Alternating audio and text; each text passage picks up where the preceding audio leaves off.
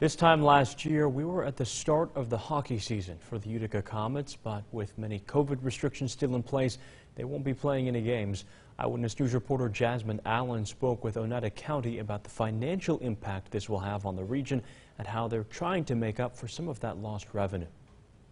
In a typical year, the Comets games would bring fans from across the region, and afterwards, they might even hit a nearby restaurant.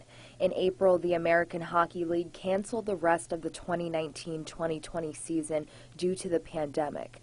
Oneida County Executive Anthony Picente says this has caused a huge impact on the county's revenue. We're probably down all total, you know, I mean, in, in sales tax, probably in the, in the neighborhood of $4 million plus. A big chunk of that is, is attributed to entertainment. The decline in sales tax is, uh, you know, a decline in really activity. According to the Bureau of Labor Statistics, as of September, the country's unemployment rate is 7.9 percent.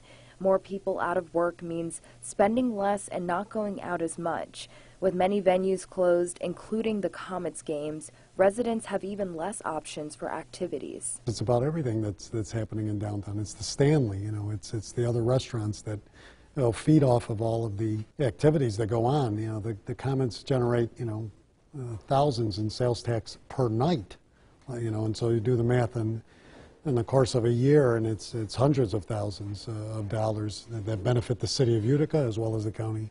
We asked how the county is trying to make up for some of the lost revenue. Continuing to try to help those businesses that are closed uh, to reestablish themselves and, and get open in, in, in phases and look at ways in which you know people can get back to work. For now, Picente says one way residents can help is by continuing to follow the COVID 19 guidelines so that we can overcome the pandemic and get back to a new normal. In Utica, Jasmine Allen, Eyewitness News.